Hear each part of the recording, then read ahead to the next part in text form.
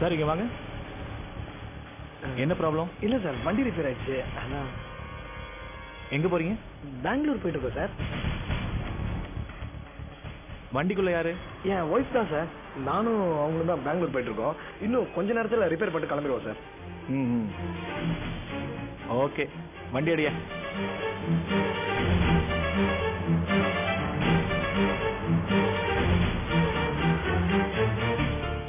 சரி. இப்போ என்ன பண்ணலாம்? பார்ட்ஸ் வாங்கிட்டு வந்துரு ஆமா எவ்வளவு ஆகும்? ஒரு இரநூறுவா ஆகும் சார்.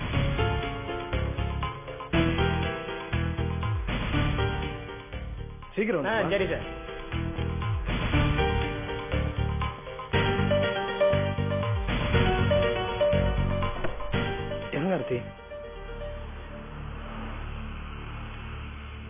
போலாமா?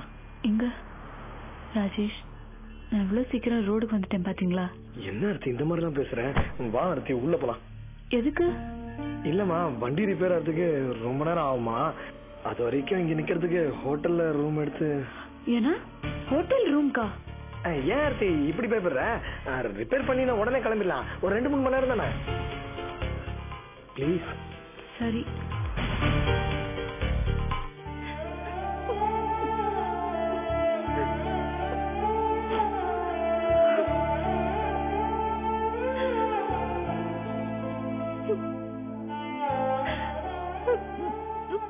அபி. இங்க பாரு. தைரியமா இரு. இப்படி ஒரேடி அப்செட் ஆயிட்டா எப்படி? என்னால முடியல உஷா. நான் முழுசா நொறுங்கி போயிருக்கேன். என் குடும்பத்துக்கு மட்டும் ஏன் இப்படி எல்லாம் நடக்குது? என்ன அபி நீ? என்னமோ எல்லா கஷ்டமும் உனக்கு மட்டும்தான் இருக்குன்ற மாதிரி பேசுற? அப்படி இல்ல. எல்லாருக்குமே பிரச்சனை இருக்கு. அப்படி இல்ல உஷா. இந்த கல்யாணத்துக்காக நான் பத்து பதினஞ்சு நாளா ஒவ்வொரு நொடியும் எவ்வளவு சிரமப்பட்டேனோன்னு தெரியல. சரியா கூட தூங்கல. இத்தனை பாடுபட்டது. கடைசியில இந்த மாதிரி முடியறதுக்கு தானா? அதுலயும் எனக்கு ஏன் அம்மாவை நினைச்சாதான் ரொம்ப கஷ்டமா இருக்கு. இதோ பாருங்க. நடந்ததை மறுபடி மறுபடி நினைச்சு பார்த்தா வேதனை தான் மிஞ்சும்.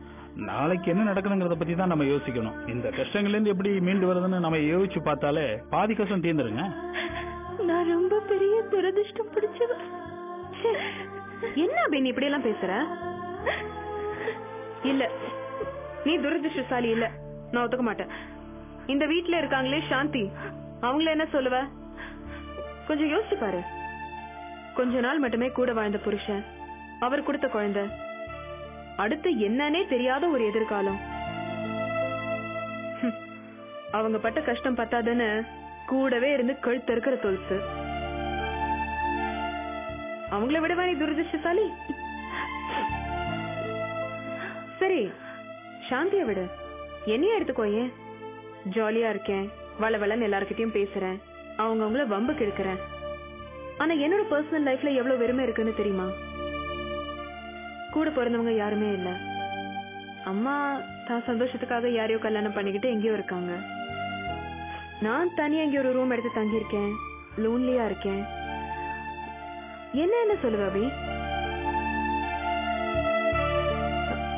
தோ தோல்ஸ் இருக்காரு.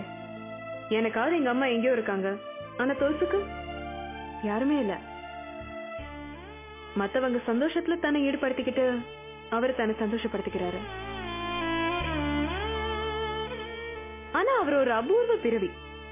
பாரு ரவுடிங்க கிட்ட குத்து வாங்குறாரு ஆபீஸ்ல பாஸ் கிட்ட திட்டு வாங்குறாரு ஏன் கிண்டலையும் சகிச்சுக்கிட்டு. உயிரோட இல்ல அவரு? அவர் என்ன சொல்லுவ? இதோ பாருங்க அபி. இந்த சூழ்நிலை சரியாயிடும்னு நாம நம்பணும். அதான் ஒரே சொல்யூஷன் இப்ப நீங்க இருக்கிறது வேதனையான சூழ்நிலை தான் ஆனா அது மாறிடும். அதான் உண்மை. என் அனுபவத்துல சொல்றேங்க. ஹாஸ்டல்லையும் ஹாஸ்பிட்டல்லையும் இருக்கும்போது தான் தனிமையோட வேதனை ஒரு மனுஷனுக்கு தெரியும். அதை நான் அனுபவிச்சிருக்கேன். நான் ஹாஸ்பிட்டல் இருந்தப்போ நீங்கெல்லாம் வந்து பாத்தீங்க ஆறுதலா இருந்தது. ஆனா ஒருத்தர் கூட வந்து பார்க்காம எத்தனை நோயாளிகள் அங்க இருக்காங்க தெரியுமா? நீங்க சொல்றதெல்லாம் சரிதாங்க. ஆனா இப்ப என்னோட கவலை எல்லாம் ஆர்த்திய பத்தி தான் வெகுளி பொண்ணாவ. வீட்டுல எனக்கு பிடிச்ச செல்ல தங்கச்சி. வீட்ல அவ தனியா கூட படுக்க மாட்டா. அம்மா கிட்டயோ என்கிட்டயோ வந்து கொண்டிக்குவா இப்போ தனியா அவ எங்க இருக்காளோ தெரியல. அவளுக்கு என்ன ஆயிருக்கு உஷா? அவ எங்க போயிருப்பா? ஐயோ. சந்திரா இங்க வா.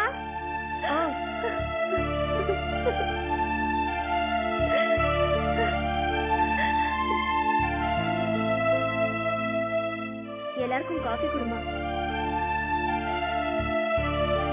இல்லங்க good girl thank you so much Tapi coffee இல்ல வேண்டாம் உஷா. குடி. உனக்கு? இல்ல வேண்டாம். அபி காஃபி சாப்பிடுங்க. இதோ பாருங்க. ஆர்த்திக்கு எதுவும் ஆகாது. அவ நல்லபடியா கிடைச்சிருவா. கவலைப்படாதீங்க. எதை வச்சு நம்புறது? காலம் ரொம்ப கெட்டு போயிருக்கு. அப்படி இல்லைங்க. ஆர்த்தி மாதிரி ஒரு பொண்ணுக்கு கெடுதல் பண்ண யாருக்கு மனசு வரும் சொல்லுங்க. அப்புறம் நீங்க எனக்கு ஒரு ஹெல்ப் பண்ணணும். சொல்லுங்க. ஹாஸ்பிட்டல் செலவு நிறைய இருக்கு. அது சமாளிக்கணும். ஆனந்திக்கு வாங்கின நகையெல்லாம் விக்கிற மாதிரி இருக்கு. காலையில உங்ககிட்ட தரேன். கொண்டு போய் வித்துட்டு வந்துடுறீங்களா? சரிங்க. சரி அபி. நீ காஃபி குடிச்சு முடி. அதுக்கப்புறம் நான் உனக்கு ஒரு சூப்பர் பாட்டு பாடுறேன். அதை கேட்டு நீ ரசிச்சிட்டு இருக்கும் போதே டின்னர் ரெடி ஆயிடும். சாப்பிட்டு நிம்மதியா தூங்கிடலாம். என்ன? உஷா. என்ன சாப்பாடா? உன் பாட்டு சொன்ன ம். Thank you thanks for the compliment சரி. தூக்கம் வருதுன்னா தூங்கு. ம். உன் மடியில படுத்துக்கிட்டுமா? தாராளமா. என்னடா?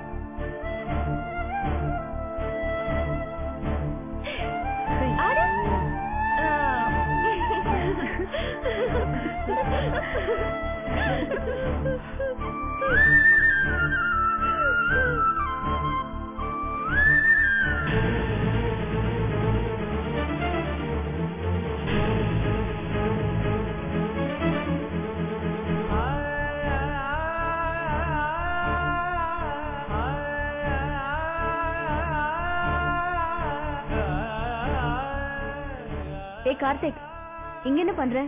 ஏன் தனியா நிக்கிற? என்ன வாயை திறந்து பேச மாட்டியா? என்ன டிஸ்டர்ப் பண்ணாத. தயவு செஞ்சு போயிடு. எனக்கு பிடிக்கல.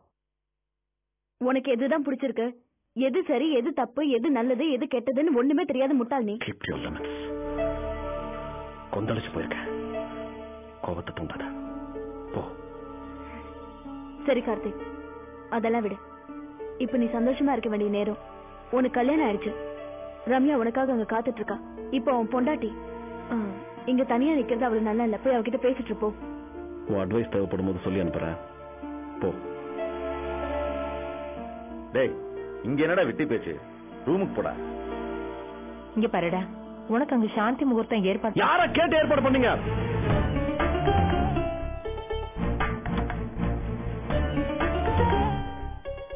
என்னடா மடைய மாதிரி பேசுற? கல்யாணம் பண்ணியாச்சு. சாந்தி முகூர்த்தம் பண்ண வேண்டாமா? அதான் நீங்க முடிவு பண்ணாதீங்க. என்ன வற்புறுத்தி என் விருப்பத்துக்கு மாறா போர்ஸ் பண்ணி என்ன தாலி கட்ட வச்சிருக்கீங்க. அத்தோட முடிஞ்சு போச்சு. உங்களோட எல்ல அத்தோட முடிஞ்சு போச்சு. என்னோட சந்தோஷமா அத்தோட முடிஞ்சு போச்சு. இனி என் வாழ்க்கை என்ன ஆகும் எப்படி போகும்? இது எதுவுமே உங்க யாருக்கும் சம்மந்தம் இல்லாத விஷயம். என்னோட பர்சனல் விஷயம். இனி இதுல நீங்க தலையிடுறத நான் விரும்பல. புரியுதா? தொலைஞ்சு போங்க. தொலைஞ்சு போங்க! டேய் ஏன்டா இப்படி பைத்தியக்கார மாதிரி பேசுற? ஆமா பைத்தியக்காரன் தான். இந்த பைத்தியக்காரனை தனியா விட்டுட்டு தயவு செஞ்சு யாரும் தொந்தரவு பண்ணாம போயிடுறீங்களா? ப்ளீஸ் என்னடா? பர்சனல் விஷயம் தலையிடாதீங்கன்னு அது இதுன்னு அடக்கிக்கிட்டே போற? எத்தனை நாள் நீ எனக்கு அட்வைஸ் பண்ணிருக்க? என் பர்சனல் விஷயத்துல மூக்கு நுழைச்சிருக்க? மத்தவங்க நம்ம விஷயத்துல தலையிட்டா எவ்வளவு எரிச்சல் வருதுன்னு இப்போது புரியுதா? ஏ சுஜாதா நீ வேற உன குழப்பாத. கொஞ்சம் சும்மா இரு. டேய் நீ போடா. உனக்காக உன் பொண்டாட்டி காத்துட்டு இருக்கா ப்ளீஸ் தயவு செஞ்சு எல்லாரும் தனியா விட்டு போறீங்களா? ப்ளீஸ் கார்த்திக் இது உன் பர்சனல் விஷயம் தான் ஒத்துக்கிறேன். ஆனா ஒண்ணு மட்டும் யோசிச்சு பாரு. அந்த பொண்ணு உன்னை நம்பி வந்திருக்கா. உன்னோட பைத்தியக்காரத்தனும் அந்த பொண்ணை அஃபெக்ட் பண்ண வேணாம் கார்த்திக். போ. கொஞ்ச நேரம் அந்த பொண்ணு கிட்ட பேசிட்டாவது இருப்போம்.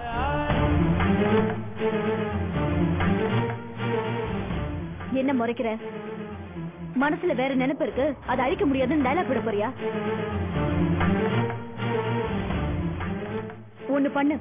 அப்பாவோட உட்காந்துக்கிட்டு ரெண்டு ரவுண்ட் தண்ணி அடி. உன்ன மாதிரி ஆம்பளைங்களுக்கு எல்லாம் அதானே தெரியும்? போதும். நிறுத்து இதுக்கு மேல ஒரு வார்த்தை பேசாத.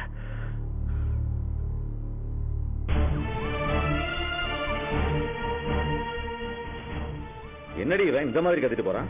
இப்ப அவன் அப்படிதாங்க இருப்பான். அப்புறம்? கொஞ்ச நாள் போனா எல்லாம் சரியாயிடும். ஏதோ அவன் கோவத்துல கத்திட்டு போறான். விடுங்களேன். கருமண்டி நமக்குன்னு வந்து பிள்ளைங்கள வாச்சிருக்க பாரு. உங்க லட்சணம் எங்களுக்கு தெரியும். போங்க போய் உங்க பாட்டில் எடுத்து வச்சுக்கிட்டு கச்சேரி ஆரம்பிங்க போங்க. என்னடி? என்ன? போய் உன் புருஷனுக்கு ஆம்லெட் போட்டு கொடுப்போம்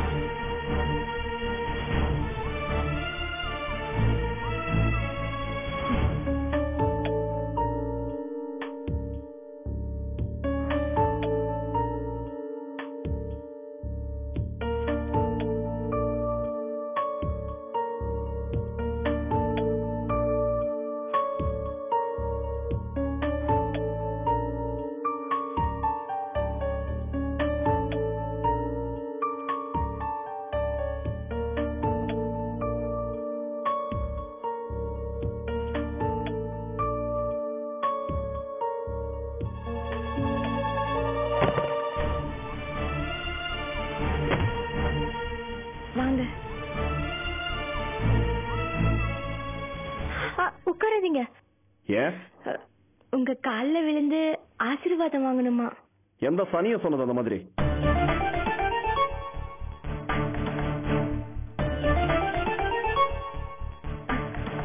இல்ல பெரியவங்க சொன்னது அந்த ஃபார்மாலிட்டி ஃபார்மாலிட்டி கரெக்ட் ஃபார்மாலிட்டி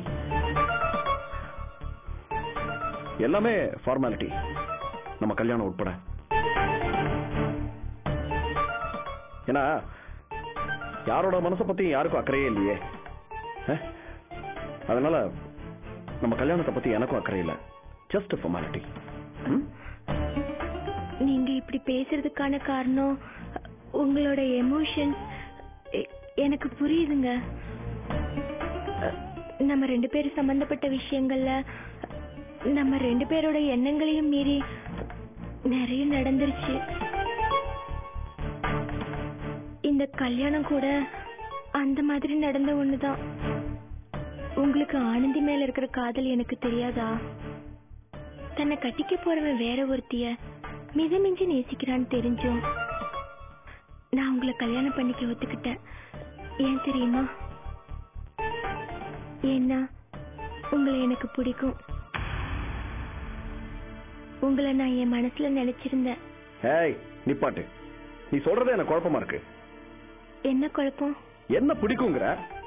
நமக்குள்ள நடக்க வேண்டிய கல்யாணத்தை நிப்பாட்டிட்டு நான் ஆனந்தி தான் கல்யாணம் பண்ணிக்குவேன்னு சொன்ன உடனே அதை சந்தோஷமா ஒத்துக்கிட்ட கோயில்ல கூட வச்சு வாழ்த்து சொன்ன ஞாபகம் இருக்கா?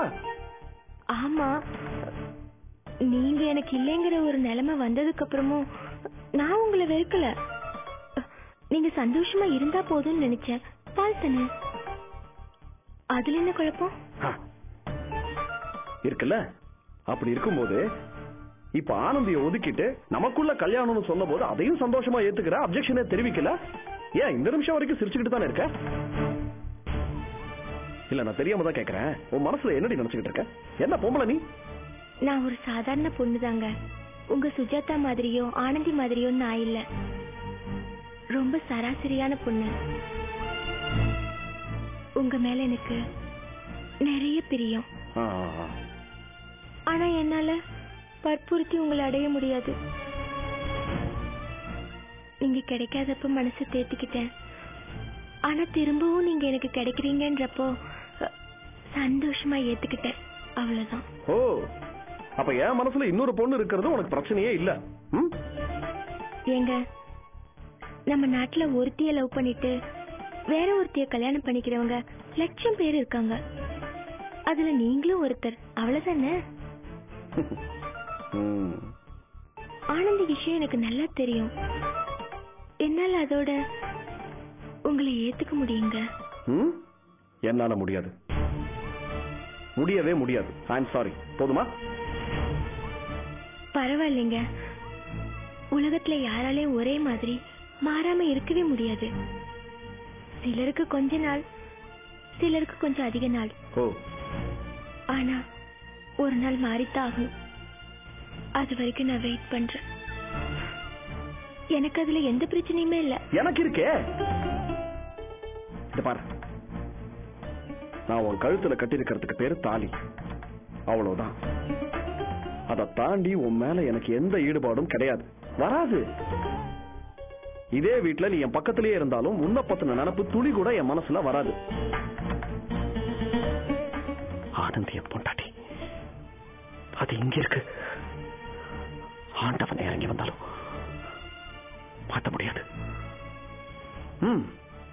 மாத்திடலாம் சரி கட்டிடலாம்னு ஏதாவது நினைச்ச அது தப்பு. ஒண்ணு ஓடி போயிடு. இல்ல செத்து போயிடு. போ! போ! போ! போ!